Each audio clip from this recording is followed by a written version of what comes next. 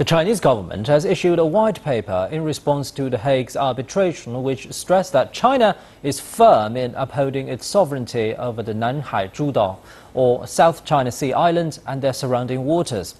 It said that Chinese people have been operating in the area for more than 2,000 years, adding that the country was the first to have discovered, named, explored, and exploited the islands and its surrounding waters. It said that China was also the first to have exercised sovereignty and jurisdiction over the area and it has spared no efforts to settle relevant disputes with the Philippines through negotiations in accordance with international law.